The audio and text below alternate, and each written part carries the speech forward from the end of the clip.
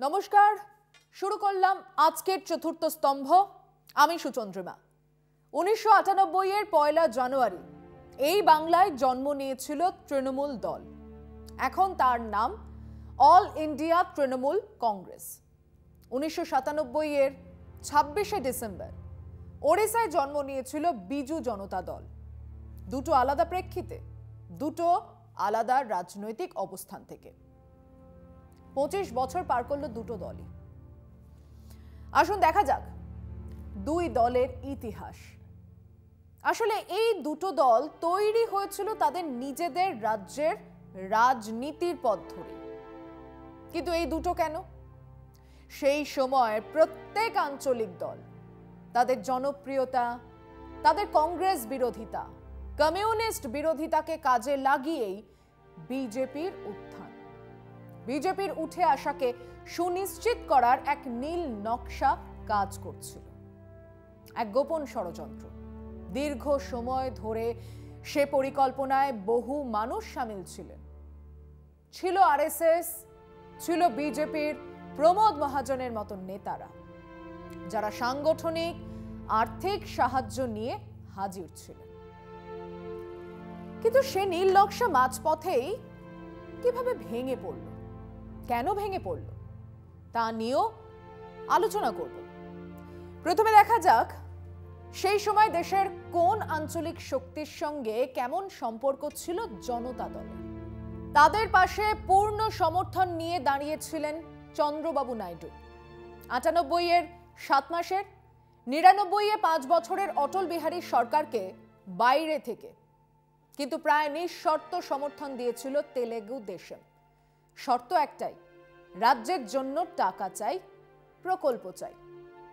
Communist পার্টিগুলোর বাইরে থেকে সমর্থন তার মনে ধরেছিল এবং মন্ত্রিত্ব চাই না। কারণ কেন্দ্রে ক্ষমতাবান মন্ত্রী হয়ে তার নেতৃত্বকে চ্যালেঞ্জ করবে, এটাও চন্দ্রবাবু নাইডু চাননি। ওধারে এআইডিএমকে পরে ডিএমকে তাদের নিজেদের রাজনৈতিক বিরোধিতা তো রাজ্যের রাজনৈতিক সমীকরণ মেনেই চলে। কাজেই আটানব্বই এর জয়ললিতা সমর্থন তুলে নেবার পরে।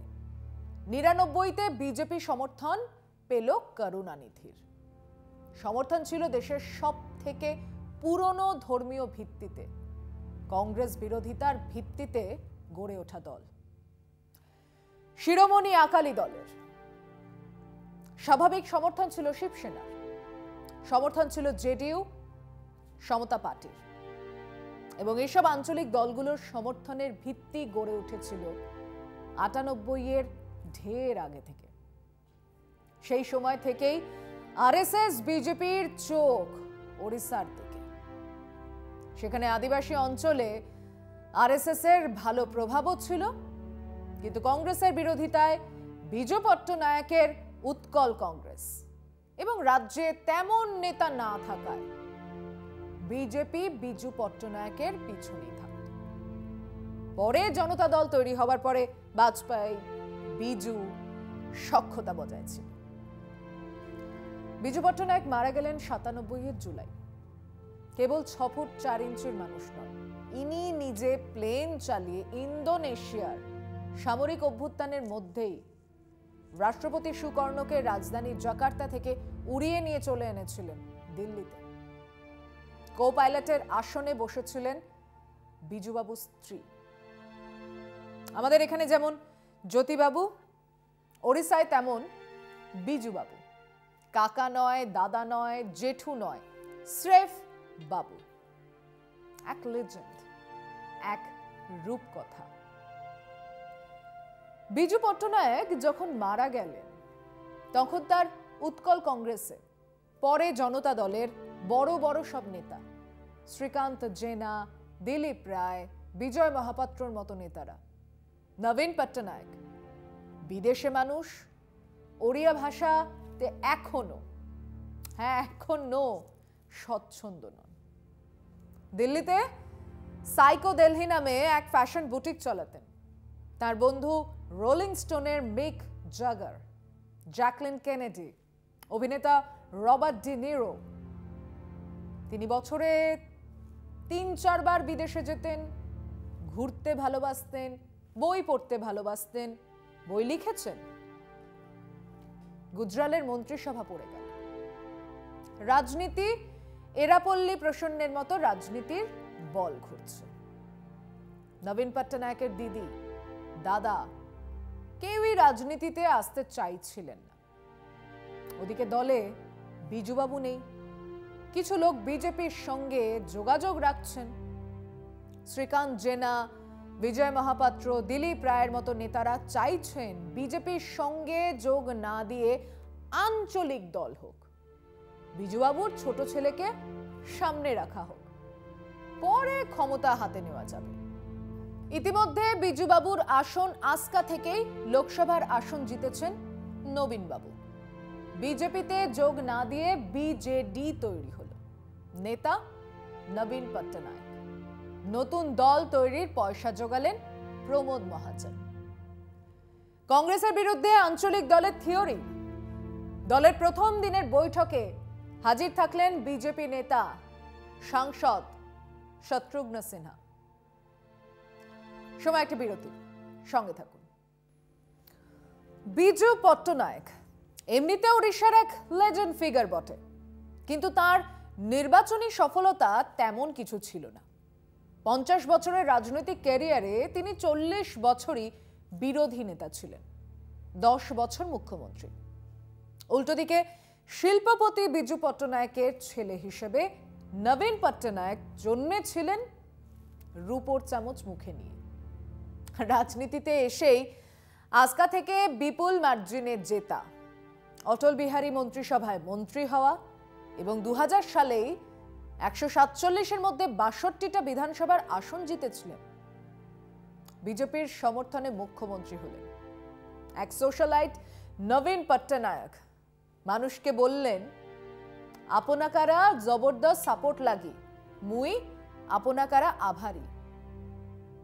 তিনি এইটুকু ওড়িয়া বলতেও দুবার কাগজ দেখেছিলেন এখনও ভুবনেশ্বরে বিজু পট্টনায়কের তৈরি বিশাল প্যালেসে থাকেন ডানহিল সিগারেট খান, বাইশ হাজার টাকা দামের ফেমাস গ্রাউজ হুস্কি খান।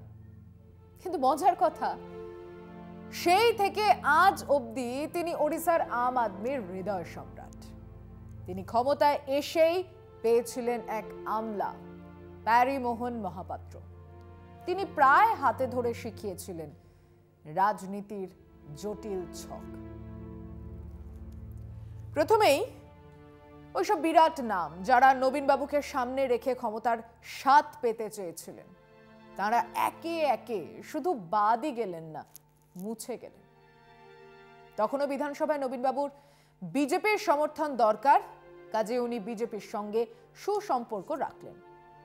দু হাজার চারেও আবার বিজেপির সঙ্গেই বিধানসভা দখল এবং মুখ্যমন্ত্রিত্ব। এর মধ্যে দুটো ঘটনা ওড়িশার রাজনীতিকে পাল্টে দিল। প্রথমটা ছিল আরএসএস আর অ্যাগ্রেসিভ পলিসি। তারা খুব দ্রুত আদিবাসীদের মধ্যে ছড়িয়ে যেতে চাইছিলেন তাদের সমর্থনে সরকার চলছিল। কাজে সরকার, প্রশাসনের সুযোগও তারা পাচ্ছিলেন। কিন্তু খ্রিস্টান মিশনারি আর মাওয়িস্ট মুভমেন্ট এই দুটো ছিল তাদের সামনে বড় সমস্যা।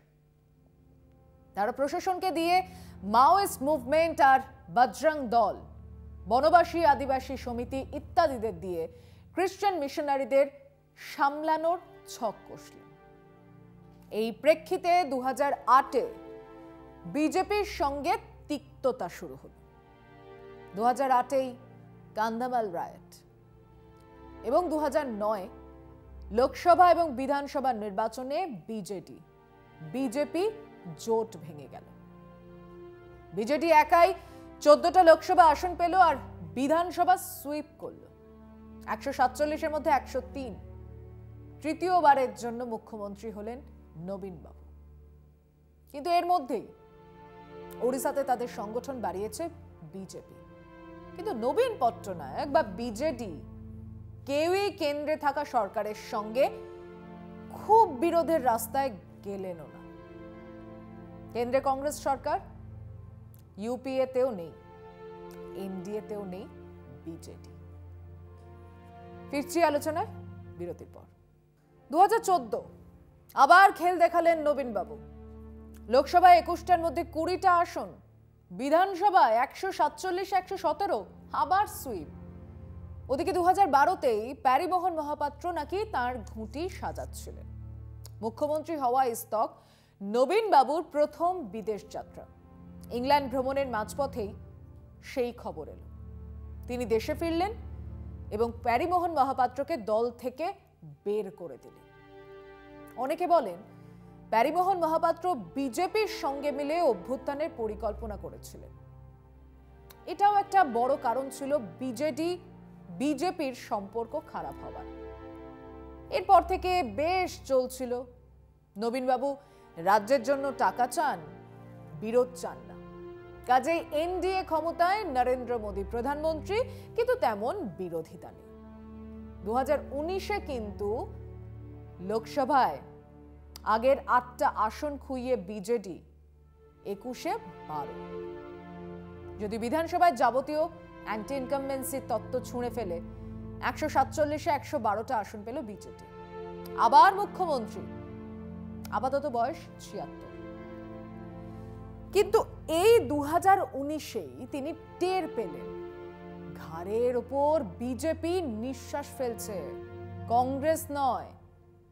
বিজেপি ঠিক করেছিল, আঞ্চলিক দলগুলোকে দিয়ে কংগ্রেস হাটাও, কমিউনিস্ট হাটাও। তারপর সেই বিরোধিতার জায়গা দখল করো। তারপর ক্ষমতা। সেই নীল নকশার গোপন ষড়যন্ত্র আজ নবীন পট্টনায়কের সামনে। সামনে বলেই নবীন বাবু তার বিজেপি বিরোধিতার সুর চড়াচ্ছেন। ক্রমশ আরও তীব্র বিরোধিতা। যা তিনি করতেন না এতদিন। খুব বেশি জেলায় জেলায় ঘোরা ইত্যাদি। সে নিয়ম পাল্টে তিনি জেলায় জেলায় যাচ্ছেন।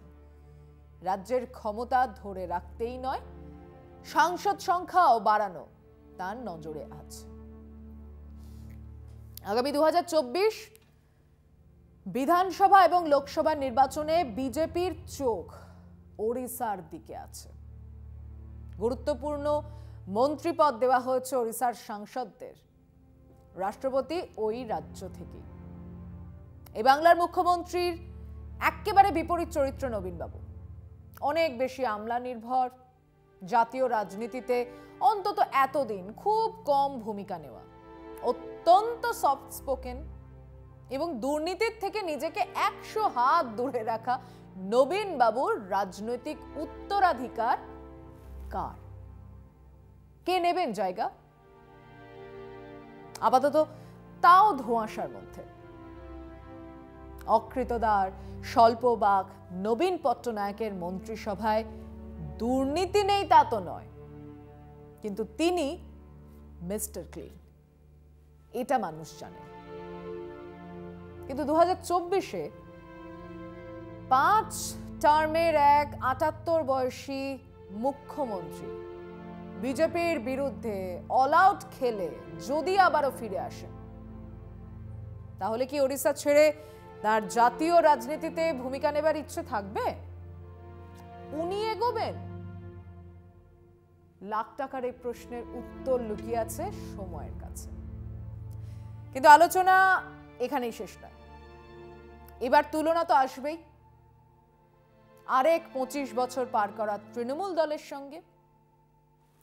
তা নিয়ে আলোচনা আগামীকাল। আজ এ পর্যন্ত শুভরাত্রি।